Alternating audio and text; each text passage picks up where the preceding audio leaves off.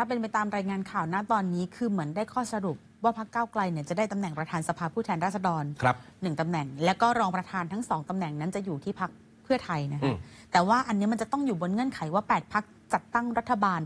ที่ยังกำลังฟอร์มทีมกันอยู่เนี่ยจะต้องเดินหน้าชูคุณพิธาลิ้มเจริญรัตน์เป็นนายกรัฐมนตรี แต่ถ้าเกิดรอบแรกในการโหวตจากสมาชิกรัฐสภาที่ต้องใช้เสียงของสวด้วยเนี่ย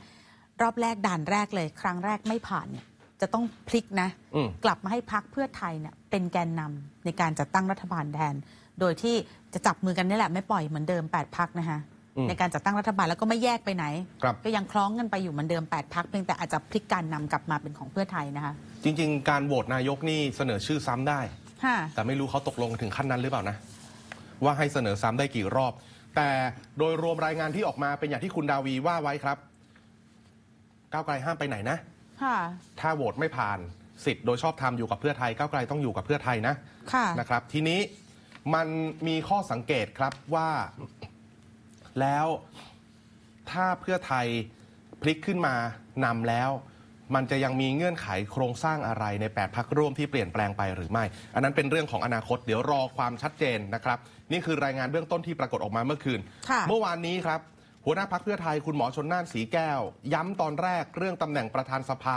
บอกว่าขอนะ อ่าขอไม่ได้แข่ง ไม่ได้แข่งนะขอเลยอะ่ะ เพราะว่าคือเหมือนมันมีคนผู้สื่อข่าวนี่แหละไปถามว่า ก้าวไกลเขาเปิดชื่อละ คู่ชิง อืมแคนดิเดตของเขาเพื่อไทยมีไหม อืมเปิดออกมาเลยมาเปรียบมวยมาเทียบมวยกันให้เห็นเห็นเลยเอาตัวบุคคลออกมาดีกว่าไหมครับ แต่คุณหมอชนนั่นบอกว่าจริงๆแล้วมันเหมือนการขอเราไม่อยากจะไปแข่งด้วยนะ ก็เลยไม่อยากจะเสนอชื่อออกมา คือเป็นการแบบเหมือนขอเป็นการพูดคุยเป็นการเจรจา คือไม่ถ้าใช่ ก้าวไกลเปิดชื่อคุณปฏิพัฒน์อ่า แล้วเพื่อไทยเปิดชื่อเกทับ ก็เป็นการแข่งจะดูไม่ใช่การขแข่องประชันกัน อะไรประมาณนี้ ไม่อยากแข่ง เพราะเราขอเมื่อวานคำถามนี้ ค่ะ ที่คุณดาวีเล่าคุณหมอชนน่านตอบว่า เราขอไปแล้วถ้าเขาไม่ให้เราก็ต้องกลับไปคุยกันว่าจะอย่างไรต่อ ค่ะ นะครับเขาก็ยังยืนยันหลักการรัฐบาลของฝั่งที่เขาเรียกตัวเองว่าประชาธิปไตย ทีนี้สื่อถามคำถามหนึ่ง บอกว่า เอ๊ะจะพิจารณาทบทวนออกจากพักร่วมหรือเปล่า นี่ถามคำถามนี้ก่อนมีรายงานปิดดีลนะคุณผู้ชม ค่ะ จะพิจารณาออกจากพักร่วมไหมถ้าขอแล้วเพื่อนไม่ให้ เพื่อนเราขอหน่อย ค่ะ แล้วเพื่อนไม่ให้คำตอบของคุณหมอชนน่าน เรียกทัวร์พอสมควรครับ เราถูกมัดด้วยฐานะของประชาชนที่ผมพูดหลายครั้งแล้วแม้เราอยากออกไปแต่เราออกไปไม่ได้ เน้นนะครับ แม้เราอยากออกไป ซึ่งเรามีสิทธิ์ด้วยนะที่จะออกไป แต่ว่ามันไม่ชอบทำเราถูกพี่น้องประชาชน 25 ล้านเสียงมัดเรากับก้าวไกลให้ติดกัน มันเสมือนพ่อแม่เรานะครับ เราเป็นลูกเนี่ยเขาจับกลุ่มถุงชนให้มาแต่งงานกันเนี่ยเราไม่มีสิทธิปฏิเสธจริงๆครับ เพราะฉะนั้นเนี่ยเจตจำนงของพี่น้องประชาชน 25 ล้านคนเนี่ยมันเป็นเรื่องที่สำคัญที่สุด เพราะฉะนั้นเราคำนึงถึงตรงนี้ไงครับ เราถึงบอกว่าเราเองเนี่ยอยู่บนพื้นฐานคำนึงถึงจุดนี้เป็นหลักในการเจรจา ในการพูดคุยและในการนำเสนอทุกเรื่อง เพื่อให้สมประโยชน์ตรงนี้เนี่ยเราเองเมื่อก้าวไกลเขาไม่ให้ เราก็ต้องมาพิจารณาว่าเขาไม่ให้เราก็ไม่ควรจะต้องรับใช่ไหมครับ ไม่ว่าจะบอกว่าถูกมัดด้วยอนัตสัญญา 25 ล้านเสียง ไม่ว่าจะเป็นเหมือนเปรียบต่างว่าเหมือนถูกคลุมถุงชนนะ ที่พ่อแม่คลุมถุงชนทำให้แกนนำเมื่อสักครู่นี้เลยไปโฟกัสตรงหน้าแกนนำอีกท่านหนึ่งคุณภูมิธรรมเวชยชัย ยืนคอแข็งกันทุกคนเลย รอบๆหมอชนน่านว่าเหมือนกับคุณหมอชนน่านพูดเนี่ยก็ทำให้หลายคนก็อาจจะแบบหันมามองหน้ากันและอาจครัจะบยิ้มยิ้มเพราะว่าความคำพูดลักษณะการเปรียบเทียบคุณหมอเนี่ยมันจะยังไงยังไงอยู่อะไรประมาณนี้นะคะมันจะยังไงยังไงอยู่หรือเปล่าค่ะก็ทัวร์ลงฮะทัวร์ลงทัวร์ในฝั่งที่ไม่เห็นด้วยกับคุณหมอชนน่าน จะว่าเป็นผู้สนับสนุนพรรคการเมืองอื่นก็ได้ ค่ะ ก็วิพากษ์วิจารณ์ว่าเอ้าแบบนี้เหมือนอยากไปแต่ไปไม่ได้อย่างนี้เหรอออะไรทำนองนั้นนะครับ ก็ว่ากันไปนี่เป็นประโยคที่คุณหมอชนน่านพูดไว้ ค่ะก่อนจะมีรายงานว่าเขาปิดดีลกันแล้ว อย่างที่คุณดาวีอธิบายตัวรายละเอียดดีลที่ว่านี้ไป ค่ะ ทุกอย่างต้องจบภายใน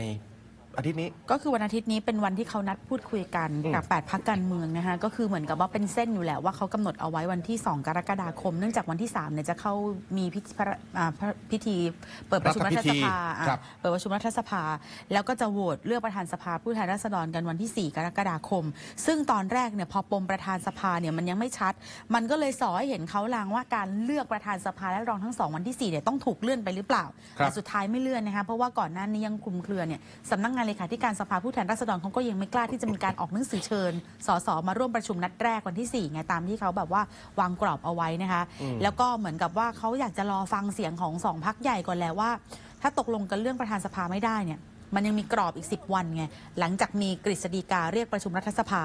ภายใน 12 กรกฎาคม ก็คือนับจากวันที่ 3 ก็ยังมีเวลา 10 วัน สุดคือ 12 กรกฎาคม ที่มีเวลาให้แบบว่าไป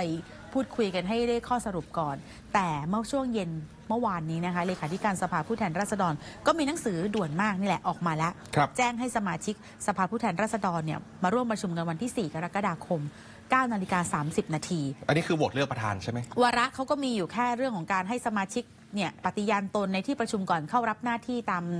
ขั้นตอนน่ะนะคะตามรัฐธรรมนูญกำหนด และวาระที่ 2 ก็คือเลือกประธานสภาผู้แทนราษฎรวาระที่ 3 ก็คือเรื่องของการเลือกตำแหน่ง รองประธาน2คนนั่นแหละ อืม เพราะว่าการประชุมนัดแรกเนี่ยถ้าเกิดว่าเรามาไล่ดูนะ เปิดปุ๊บก็จะต้องไม่มีตำแหน่งประธานใช่ไหมก็ต้องเอาประธานคนที่เป็นสสอาวุโสสูงสุด คุณซึ่งวิโรจน์หน้าที่นี้ก็คือพลตำรวจโทวิโรจน์เปาอิน ครับ จากพักเพื่อไทย อืม89ไหมอืม ประมาณโดยประมาณ89ถ้าจำไม่ผิดนะคะ ถ้าเลขไม่เคลื่อนนะ เป็นประธานชั่วคราว แล้วก็ตามขั้นตอนเลือกประธานเนี่ยเขาก็จะเปิดให้มีการเสนอชื่อ ต้องมีผู้รับรองไม่น้อยกว่า 20 คน แล้วหลังจากนั้นเนี่ยให้ผู้ถูกเสนอชื่อแสดงวิสัยทัศน์ แล้วก็หากมีการเสนอชื่อชื่อเดียวเนี่ยก็ถือว่าคนนั้นแหละเป็นผู้ที่ได้รับเลือกไปเลย แต่ว่าถ้าเกิดมีหลายชื่อ ก็ต้องออกเสียงลงคะแนนเป็นการรับอือฮึ เป็นการรับเนี่ยก็กำลังคุยอยู่คือหมายว่าเสียบบัตรก็ได้ หรือว่ากาก็ได้ อันนี้เดี๋ยวต้องไปถามรายละเอียดอีกทีนึงว่าสุดท้ายเนี่ยเขาจะใช้ครับแบบไหนนะคะในเราสุดที่ต่างว่านี่คือ 8พักร่วมรัฐบาลแล้วล่ะฮะเรายังไม่เห็นปฏิกิริยาจากพักร่วมฝ่ายค้านที่เหลือว่าเขาจะเสนอชื่อใครเลยใช่คือตอนนี้เดากันไม่ออกเลยเพราะไม่รู้จะประกบหรือเปล่า ก็คือทุกพักรอดูท่าทีของพักสองพักนี่แหละ ว่าจะยังไงไม่ว่าจะถามใคร แล้วก็วันที่สองเนี่ยนอกเหนือจาก8พักแล้ว พลังประชารัฐก็ประชุมครับก็น่าจะคุยกันเรื่องนี้ด้วย ประชาธิปัตย์ก็ประชุมเหมือนกัน ก็น่าจะมีทิศทางที่แบบว่าเริ่มชัดเจนมากที่สุดแล้วในคือวันวันอาทิตย์นี้นะคะแล้วก็ตำแหน่งรองประธานทั้งสองคนนี้ก็ถ้าเกิดเป็นไปตามนั้น ก็คือเป็นสัดส่วนของเพื่อไทยสองคนอืมก็ต้องรอดูว่าจะเป็นรายชื่อของใคร ส่วนสเต็ปต่อไปเนี่ยหลังจากประธานและรองประธานสองยังมีคอรมออีกนะอืม คุยกันว่าคือจริง ๆ เห็นเขาบอกว่าจริง ๆ มันก็ต้องเหมือนพูดคุยเจรจากันเป็นแพ็คอะทั้งประธานรองประธานและคอรมอเพราะว่าก่อนเนี้ยมันก็จะมีภายใต้สูตร มันจะได้ทอนสูตรออกมาได้ไงครับ 14บวก1 14บวก1ของสองพักหรือจะมา 15บวก1 14บวก1หรือจะไป 13บวก2ก็มีคือเหมือนเพื่อไทยคืนเก้าอี้คอรมอให้กับพักก้าวไกล ก็คือตอนเนี้ยสรุปสรุปสูตรเนี่ยมันมีหลายสูตรมากตอนแรกวเลขยัง14 บไม่วกชัด 1 ต่อ 14 บวกอ่า1 เท่ากันในฐานะที่ห่างกันแค่ 10 เสียง เมื่อกลางสัปดาห์เป็น 13บวก1กับ 15บวก1พอเมื่ออ่าผ่านเมื่อคืนนี้มา แล้วมันจะยังไงต่อ มันก็มี 13 12บวก2ไหม อันนี้เดี๋ยวรอดูเพราะว่ามันก็อาจจะแบบว่าในหลักการเบื้องต้นเนี่ยครับถ้าเกิดว่าตกลงกันว่าในส่วนของประธานเนี่ยเป็นของพักก้าวไกล ก็เดี๋ยวครับคงจะต้องมาดูกันอีกทีหนึ่งแต่เมื่อคืนนี้คุณพิธาเนี่ยให้สัมภาษณ์เมื่อวานก็ไปดูวอลเลย์บอลไงเดี๋ยวช่วงท้ายเราค่อยมาเล่าบรรยากาศครับเขาก็ยังบอกนะว่า คือสื่อถามว่าตกลงเป็นยังไงคณะเจรจาคุณพิธาบอกให้สื่อพาดหัวไปเลย กำลังเจรจากันอยู่ อืม เอาคราวนี้ยิ่งงงกันไปใหญ่เลย คือเจ้าตัวเนี่ยอยู่สนามวอลเล่ฮะกำลังเจรจาเครียดกันอยู่หัวหน้าพักอยู่สนามวอลเล่ค่ะ ไปดูวอลเลย์บอลผมว่านี่นี่ไม่ได้จะเหน็บแนมอะไรแค่จะบอกว่าเขาแบ่งบทบาทแบ่งการเล่นกันอย่างชัดเจนนะ ค่ะคุณพิธาก็สวมบทบาทการไปปรากฏตัวในที่สาธารณะ ค่ะ ปรากฏตัวต่อหน้าสาธารณชนไป ทีมเจรจาก็เจรจากันไปสิ ค่ะเมื่อวานช่วงประมาณ5โมงเย็นประมาณ4โมง5โมงประมาณนี้ครับ มันมีภาพที่ปรากฏออกมา คือดับ ดับกระแสความร้อนหลังจากคุณหมอชนน่านให้สัมภาษณ์ได้เลยอะค่ะ ภาพนั้นมาจากพักเพื่อไทยเออพักเก้าวไกลใช่ไหม จริง ๆ แล้วถ้าเริ่มสตาร์ทน่าจะมาจากคุณอุ้งอิงก่อน ที่อ๋อ IG Story อะคือเหมือนกับถ่าย แล้วก็ให้เห็นว่าอยู่ในบรรยากาศการประชุมร่วมกัน ครับ เป็นภาพวงหารือเพื่อไทยกับก้าวไกลเขาบอกนัดหมายกันที่โรงแรมโรสวูดกรุงเทพนะคะ ซึ่งเป็นโรงแรมของคุณอิงนี่แหละ ก็คือแว่วๆมาว่าน่าจะถกกันเรื่องของการจัดสรรงบประมาณรายจ่ายประจำปีงบประมาณ 2567 ครับ นัดแรกของฝั่ง เนี่ยฝั่งเพื่อไทยถ้ามองนะซ้ายมือคุณเศรษคุณฐาผู้ชมจะมีนอกจากคุณนุ้งอิงคุณเศรษฐา คุณหมอพรหมมินทร์เลิศสุริเดชแล้วก็จะมีพวกทีมเศรษฐกิจกรรมการนโยบายอะไรต่าง ๆ ของทีมเพื่อไทยเขาอีกฝั่งขวามือแบ่งกันอืม